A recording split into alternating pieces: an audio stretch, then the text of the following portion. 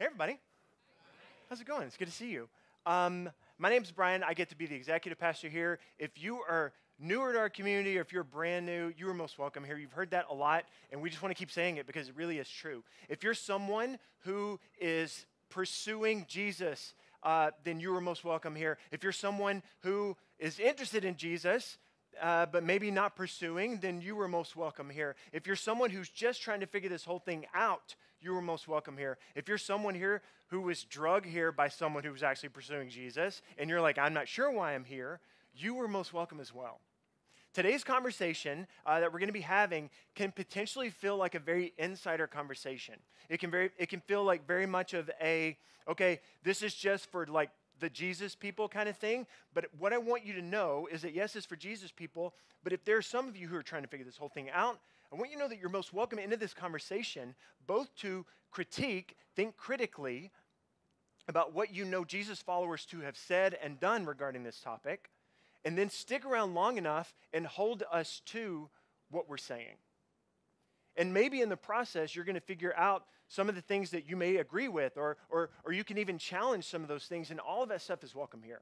And so, while there will be a lot of this where it feels like, okay, if I'm not a follower of Jesus, then this really isn't for me, I absolutely want you to stay engaged. Take notes. As Sharon said, uh, let's go to coffee. I love hanging out and talking about this stuff uh, in more of a personal way, and I love going to coffee. Uh, my favorite coffee shop, um, well, it's not Starbucks, I'll tell you that. Um, so, yeah, we can do that later too. Um, okay, so we're going to be in Matthew chapter 10. Matthew chapter 10. Um, so, if you have a Bible, go ahead and open it there. Open your phone or whatever.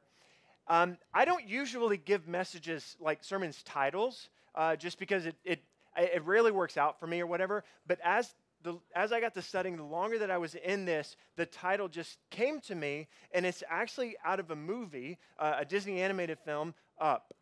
And so, if you've seen the film, then there's the early scenes where you have this little girl and this little boy, and she is encouraging this little boy that adventure is out there.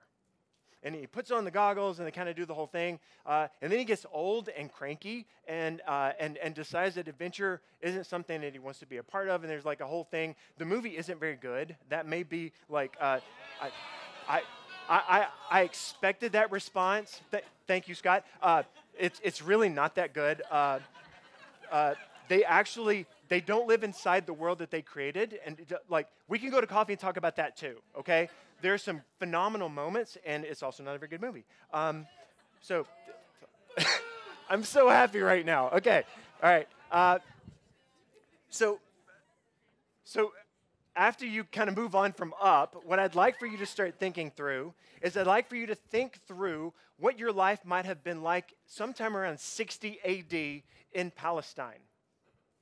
Everybody got that? All right, so think with me.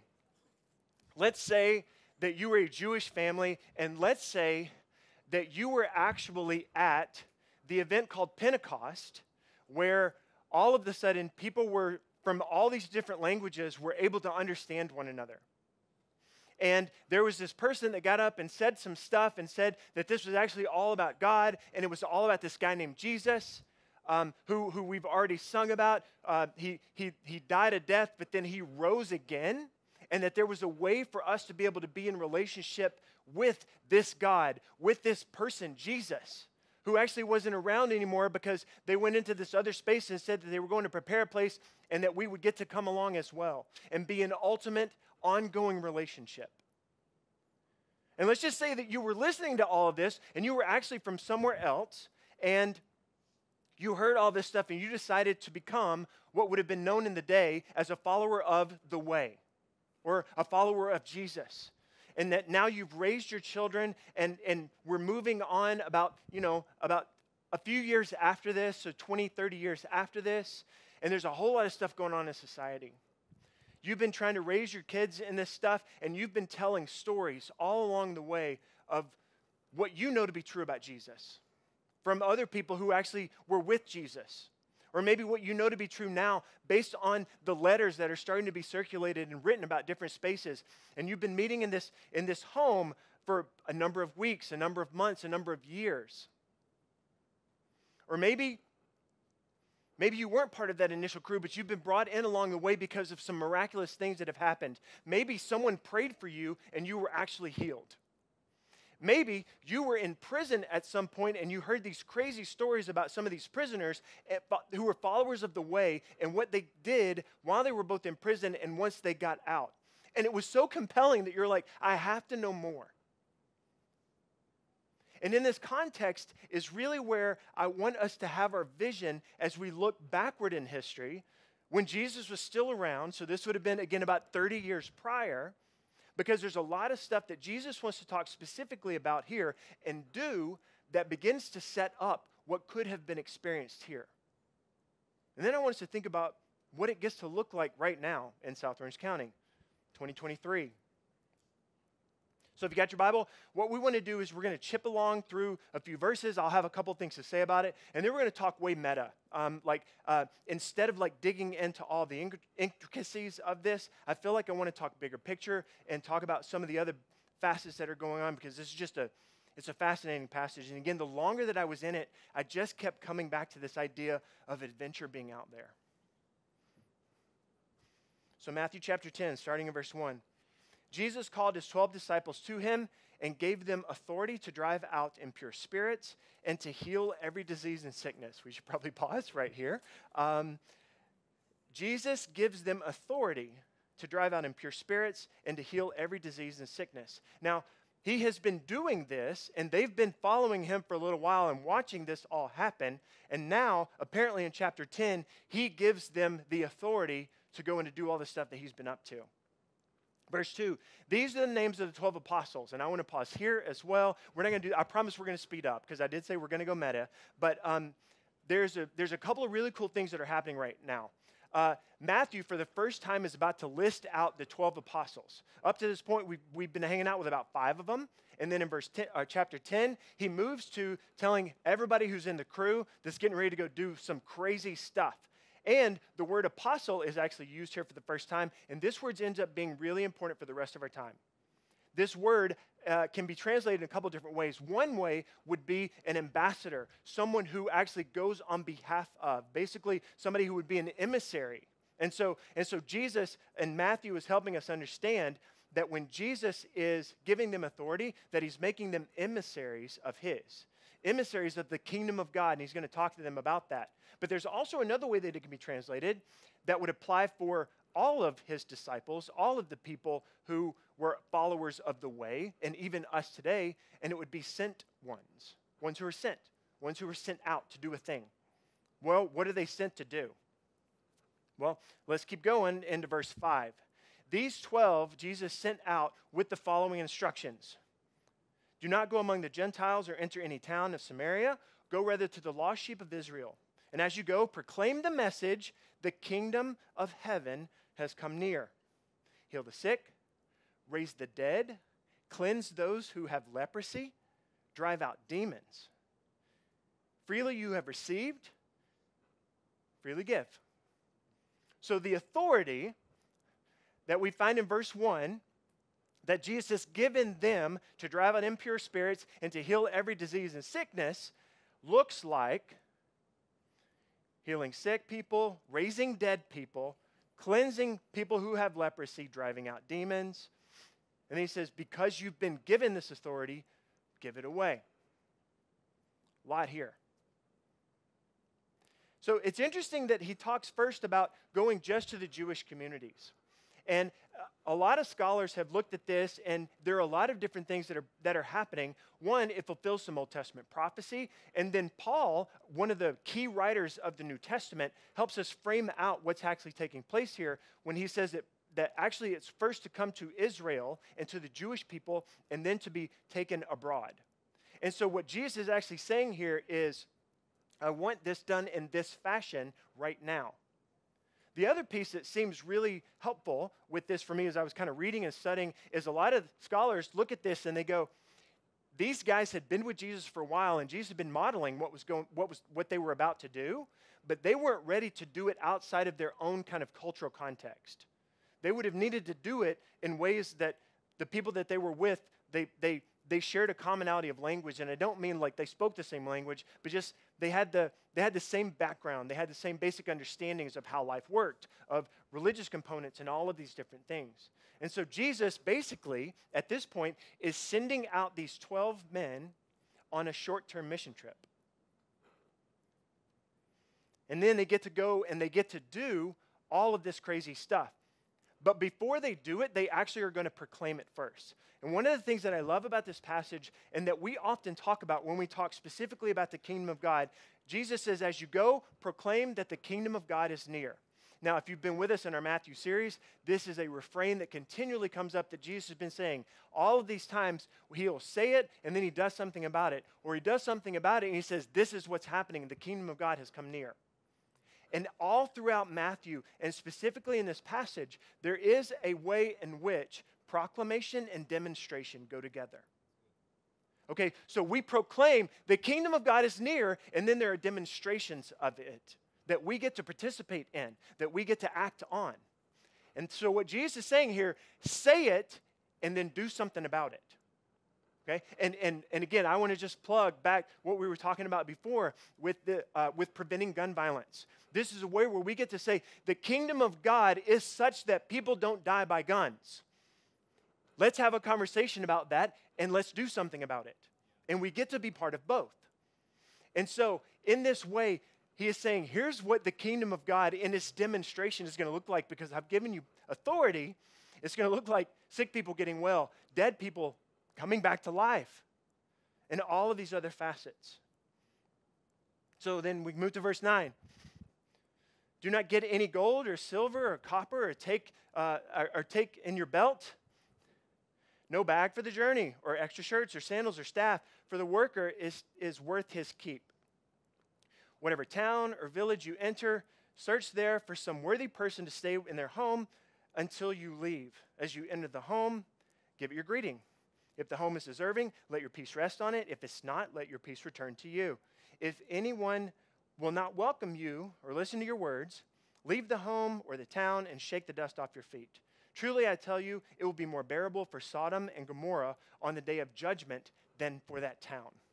Okay, a lot going on right here. And again, we're going to stay meta, and so I just want to touch on a couple components, um, and then we're going to move on. And for sure, uh, do some study on this stuff. I've got some great resources to provide you uh, in your in your hour a day with Jesus. This may be a really good passage for you. Go, wow, I really want to unpack what's going on there. Uh, we have some good stuff regarding that. Or again, let's go to coffee. Here's a couple of things. One is this is not prescriptive.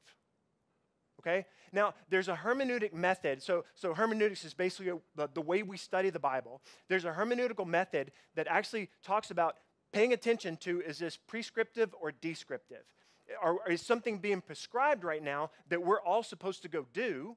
Or is it just describing what got done? This is 100% a case of a descriptive nature. So, what Jesus is not doing is saying, all of y'all go do this, and then what we're supposed to do, go, we're supposed to go do this, literally, exactly. Okay?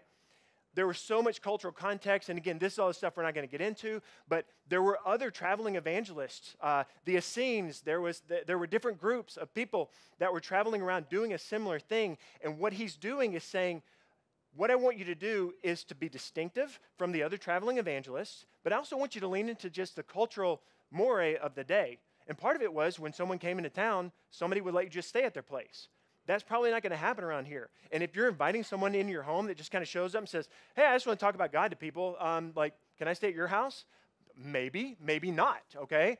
Uh, but again, so, so again, this is not prescriptive for what we're supposed to do. It's descriptive, specific to the context, and to a whole bunch of other cultural facets that Jesus is trying to do.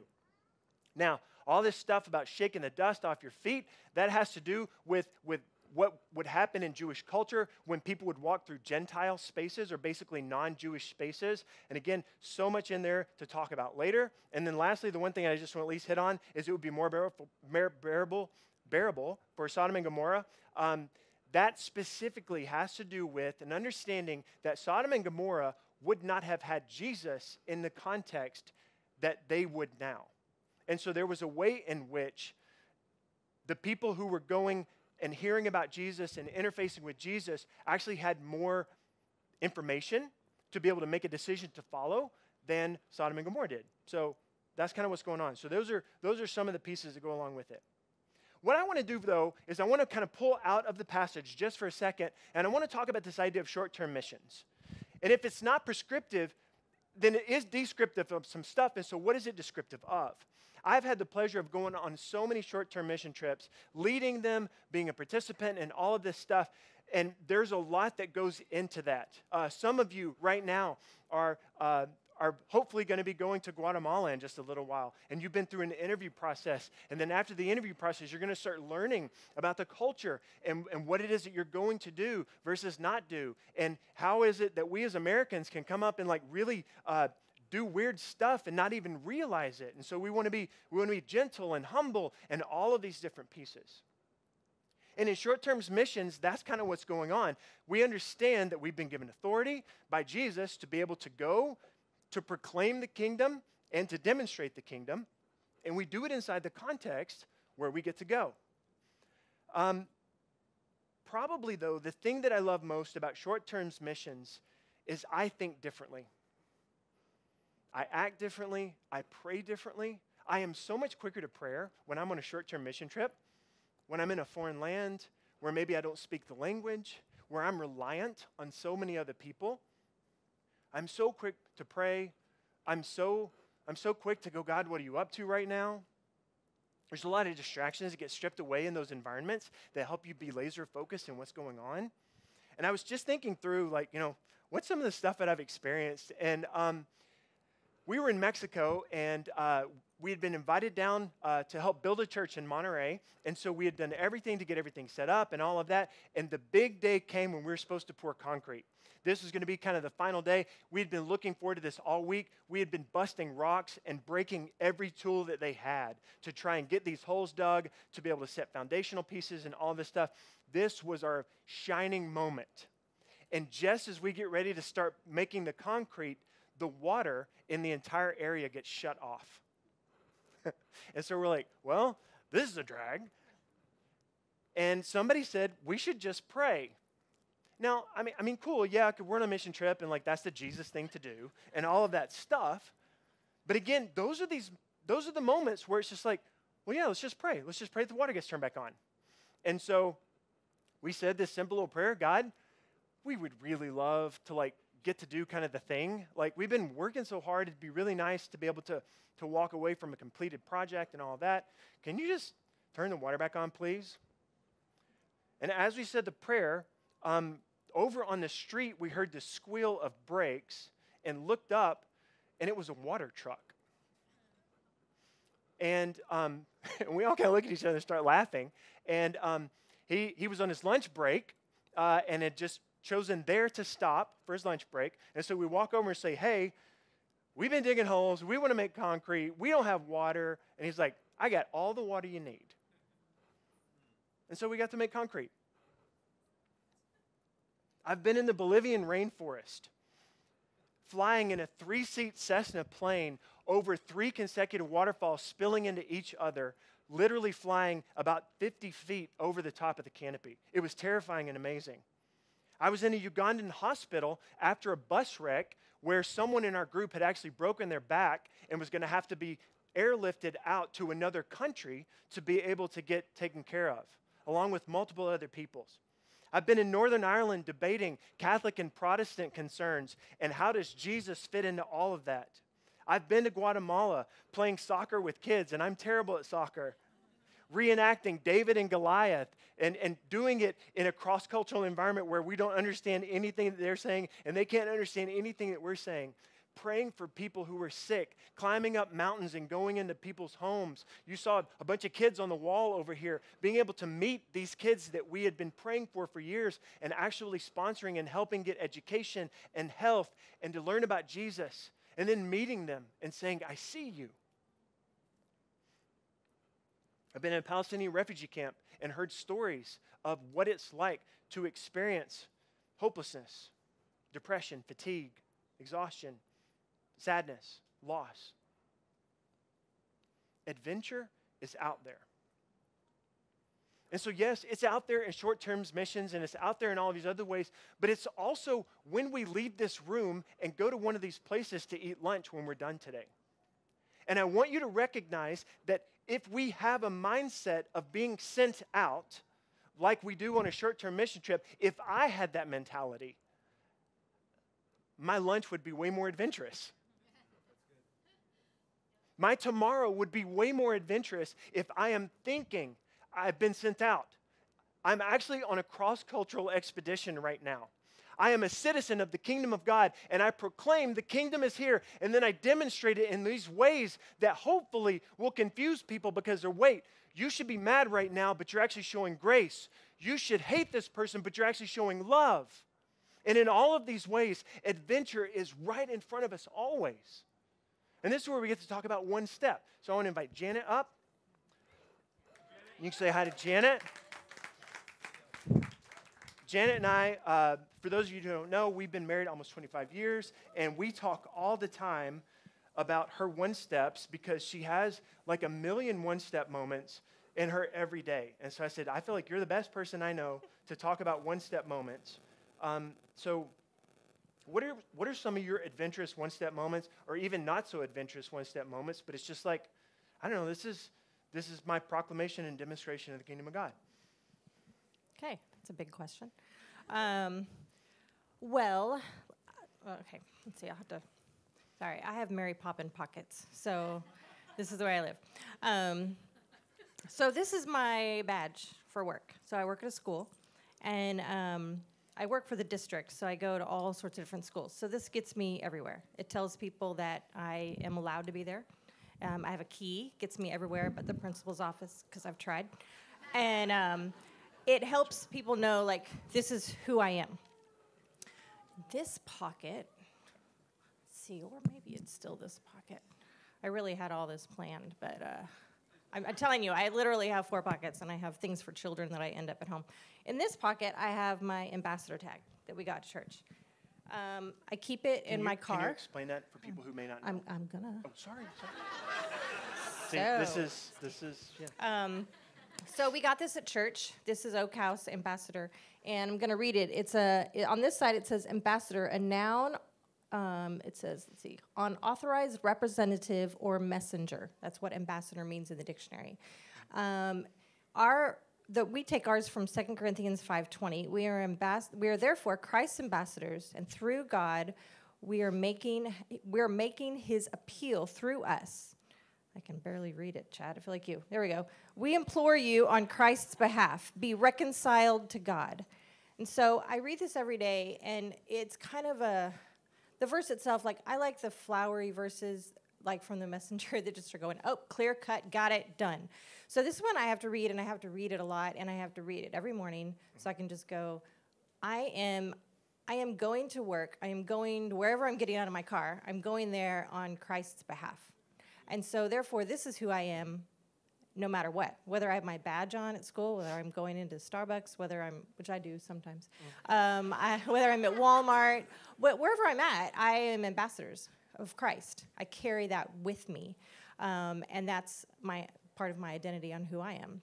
So, my one step has been for the first time um, when we started the one step, it was just reading this.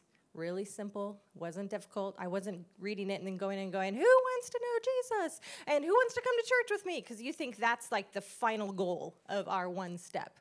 We think that the steps have to be either gigantic or really fast. And the Lord was just telling me, This is your step, is to read this every day, to know who I am in you so that you can be me there if that makes sense. And um, so it's to listen, it's to watch, it's to pay attention. What's the environment I'm in? Who the people I'm around? Is today a day that I need to focus on the adults in the room who are broken and tired and frustrated and stressed? Is it to focus on the special needs kids I work with who are all of those and don't even know how to express that? Is it the parents who are dropping off their kids for just a breath of air so they can go run and get their groceries done because they can't go anywhere else when they get home? Is I mean, who is it that I need to be Jesus to that day? And I always ask very specifically, and I say, just help me be who you need me to be today. And I get back into the car, and most of the time I'm like, oh, I don't think I did a very good job.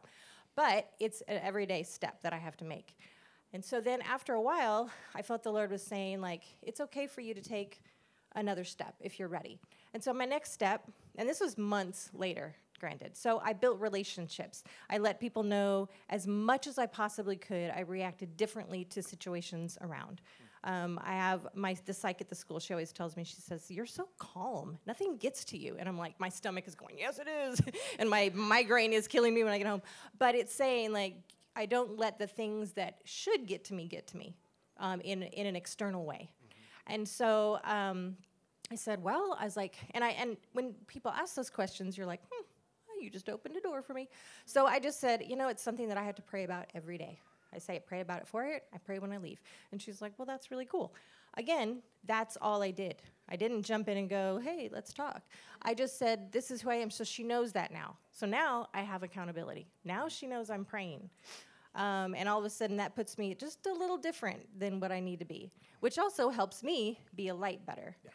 So the next step, though, I'm getting to that now, is that now um, on the Mondays, because this is a practical step. So every Monday, I come in and I talk to my my coworkers. I I work in four classrooms. I wander around. I train. I assist. I go to gen ed. I go to special ed. I just wander all around the school wherever they need me, and I answer the 50 texts of SOS or come help me and kids screaming and a kids in the girls' bathroom, whatever it is.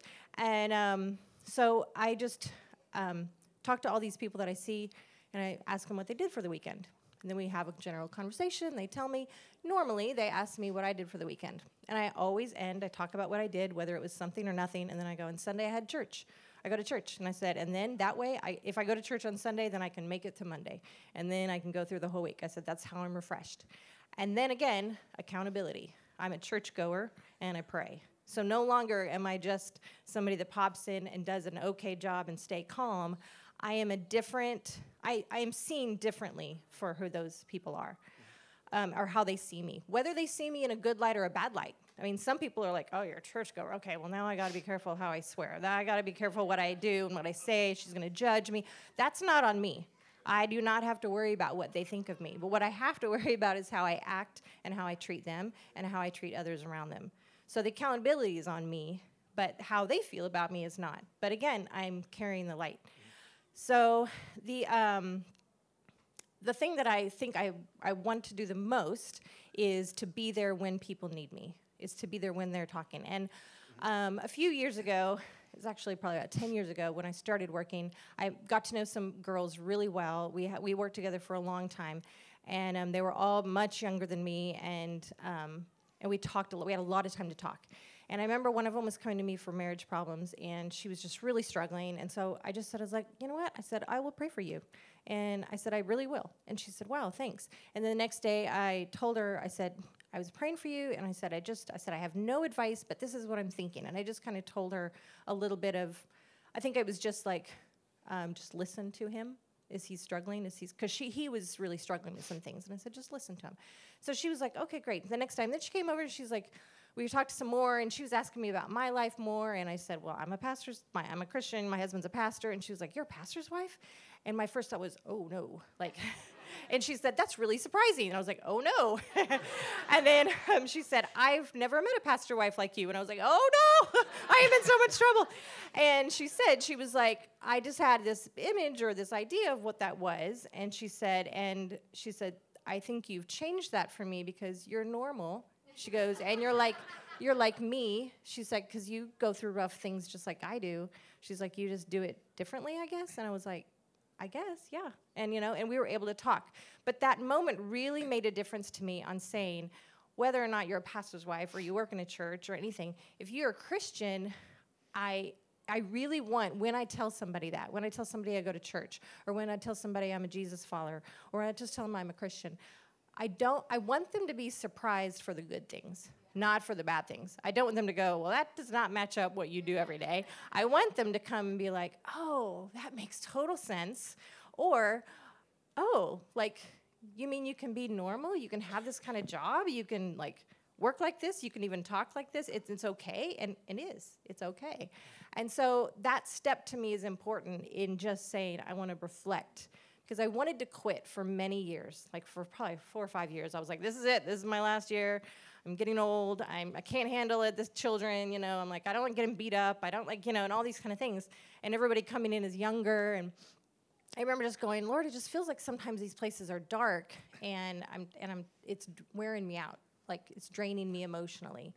And the Lord was like, Well, if it's so dark and you're taking me every day, why would you want to take the light out of a dark place? That's where I have to be. And if you're my light, then stop it.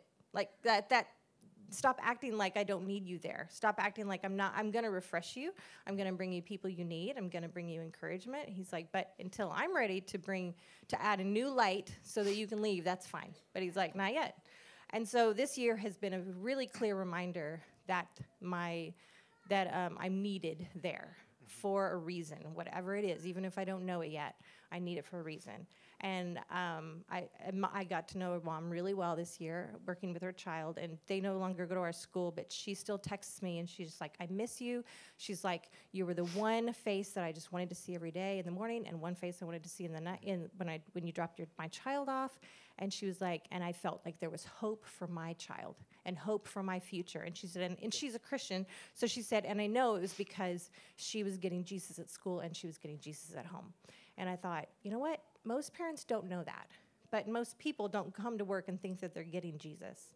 Um, so be Jesus. They don't have to know it, but do it anyway because that's what God's calling us to do. And it's even just, again, being a small light in a dark place and just taking, again, my steps are not big. Again, I don't go in there, I don't preach, I don't talk people down when they start saying bad things. I don't say, that's wrong, this is wrong, this is right. Mm-hmm. I don't do that kind of stuff because that's not what Jesus did. I mean, really, it's not. I mean, if you read the Bible, he listened, he brought people along, he sat with them. He was like, let's go to dinner, let's talk. I want to see you. Everyone's hating you, let's go on a walk. It's that kind of stuff. And I think if we can just be that, then I think that is how we can be true ambassadors and carry that into our workplace and our life and our Starbucks. I do have to tell you, I fail sometimes. Okay, and most of you know I'm pretty TMI, which means too much information, which means I share way more Wait, than I probably are, need. what, are you about? What I'm are you totally about to going to tell right a story, and you're going to have to listen. It So- better not be about my medical history. No, no, no. Okay, that was just a one-off I'm just saying. Just that. I posted on everybody. And, um, I'm still a little sunburned about he that. is a little burnt about that. Um, so one time, there are times that I try to go into just the normal world outside and just give a little bit of like. I want if you're having a hard day, if you know you're getting checked out at a um, at a grocery store or at a restaurant, and they are just you can just see on their face they're done. Um, you don't have to like have a big conversation, but sometimes I'm just like, "Hey, how you doing?" You know, and you can just tell. Oh, you know, no, no." So I sometimes would just have a conversation. I'm like, "Oh, do you get to get off soon? Like, do you get to leave soon?" And sometimes they're like, "Oh, no, I just started the day," and I'll be like, "Oh, you can do it. Only a few hours left." Or, "Yeah, you have like 15 minutes. Good for you." And then I leave. Now that's it. And um, I'm in Sonic, and the line was so long, and it was taking forever. As Tim, you know, it's always long. I know, but I love it, so I have to go through it. So we're waiting in the line for long, and the guy getting it, he was just like, "Is this your drink?" I'm sorry, I don't know what drink it is. I'm all messed up, and I was like, "That's okay." I was like, "Just go ahead and give it to me. And he was a young guy, and um, I thought he looked really tired, and so I was going to use my normal conversation of like, "Hey, you know, hope your hope your day's almost done," and then I was in my mind, it made sense for me to say this, but I said, "Hey, well, when do you get off? Do you get off soon?" And he was like, looked at me for a minute, and he was like, "No." And I and I then I thought that totally did not come out how I wanted it to come out. And I was like, "I'm just hoping that you get to get off soon and go have fun with all your young friends." Nah, I'm gonna just drive off now. But again, it was if you can have the mentality of just trying to make someone feel like you see them and you see them for where they are no matter where they are then i feel like it's okay and i feel forgiven for that and i don't i don't go to I don't think sonic you sinned, anymore but it's, it's okay. Yeah. But hey, the pastor's wife making it weird. How about that? Yeah. always always making it weird. All right, thank you. Um, can we thank her? It's amazing. And again, that, you guys, that's that's why I had her share is because she she just tells she comes home and she's like, "Here's what happened today," and and it's all the time. And I want you to know that you have that opportunity as well. Um, so band, come on up. Um, I got a couple more things I want to say, but if you guys are up here to make me talk faster. One of the things that feels really important is we're talking about adventure being out there, and we're talking about you being creative and you recognizing that all of these next step moments are right in front of you if you're just on your toes. If you're realizing that you're a sent one in all of these different cross cultural environments, and it can be everything from standing in line uh, at the grocery store to being in line at Sonic or at your w- workplace or at a park this afternoon or wherever it would be. If you have in mind that you're a sent one and that adventure is possible, it is also important to frame your expectations appropriately. And Jesus does that starting in verse 16, and for a while, basically just goes on to say, Be on your guard. I'm sending you out as sheep among wolves. You're going to get ridiculed. You're going to be hated by everyone because of me. You're going to be called the devil because I have been called the devil. And if you're followers of me, then why wouldn't it make sense that followers of the devil are going to be called the devil as well? So have your expectations properly set. Adventure is out there, and it's going to be really hard. The reason I want to bring up bring that up, and I think Janet did a great job of talking this out too, is I think there are a lot of times that we as Christians, we as the church of the United States, have been way more interested in certain culture war contexts to change the landscape so that it's easier for us to be Christians than recognizing that's not what Jesus has asked us to do. What Jesus has asked us to do is to proclaim the kingdom of God is near and then demonstrate what the kingdom of God looks like. Not to till the soil so that people are, are, are nice to us when we say our stuff, or that when we say Merry Christmas, they say Merry Christmas back. Or uh, with certain books that are get to stay inside the school versus not, or conversations around race. All of these things if held in proper context, absolutely, we want to be change agents in these spaces as they pertain to the kingdom of God. But the second that it becomes about us, we are missing the point. And Jesus is very clear here. When you do this on my behalf, it is going to be difficult. Adventures out there, you're going to have some incredible experiences. Remember the first century church. Remember 60 AD, they would have been talking about all of these wild things that had been going on. Recognize what's getting ready to happen. Jerusalem is about to be sacked, and so many of them are about to die a martyr's death. Literally, Jesus is talking to 12 people, and every one of them we know died as a martyr. Adventure is out there, and it is going to be incredibly hard.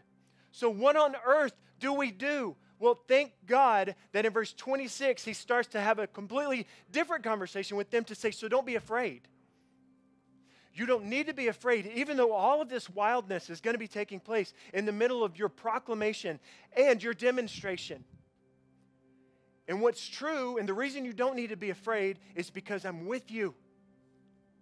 I love in verse 30 the very hairs on your head are numbered. Do not be afraid. You are worth more than a sparrow. And a sparrow back in that day was literally the cheapest commodity that was in their known society. And so Jesus says, I am sending you. You are sent. You sitting in these chairs right now, as you get ready to leave this space, you are sent. Those of you who are followers of Jesus, you are sent. Those of you sitting here who are not followers of Jesus, we are sent to you and we're sent to proclaim the good news of Jesus. And then to demonstrate what that gets to look like. It looks like love, it looks like generosity, it looks like kindness, it looks like grace. And in so doing, we recognize and we have our expectations set properly that it's going to be hard. It's going to be hard. And what we're not here to do is to change the circumstances so that it's less hard. It's to lean into who it is that we're next to. Where has our authority been given? It hasn't been given by society. It hasn't been given by our theology. It hasn't been given by all of the good stuff that we've done up to this point. Our authority has been given by Jesus. So stick close to Him. Recognize where it comes from. So that when you get to these last verses in verses 30 and 31, what Jesus gets to say to you is, You're known. You're sent. It's going to be hard, and you're known. You're sent. It's going to be hard, and your deepest needs are going to be met. Again, what Jesus is not saying here is that it's like it's going to be hard, but it's going to be okay. These people all died. Horrible deaths. It has to be okay in a different way for this to be true, and it is. The deepest things, the things that are eternal, those are the things that matter. Adventurous out there. If we lived as sent people, I am convinced that we would be more on our toes, we'd be more responsive to prayer, we'd be more responsive to love. We would recognize that we don't need to change someone else's language for us to be able to talk about the language of the kingdom. We are it, and as we are it, all people are drawn to Jesus. It's not about us. And so I want us to stand, I want us to worship. I want you to go get prayer. I want you to sing your guts out. I want you to, to have a conversation with God right now about what does this look like for me? Do I feel sent every moment of every day? And if you don't, I want to pray that you would know that. I want to pray that you believe it. If you're interested in following Jesus, we would love to have that conversation with you. We've got prayer team people over here that would love to pray with you about anything that's been going on specific to what we're talking about or anything else. You're most welcome to get prayer for anything, and these people love Jesus and they love you. so they'll pray. So let's worship, let's pray, and let's recognize and, and worship into the idea that we are sent.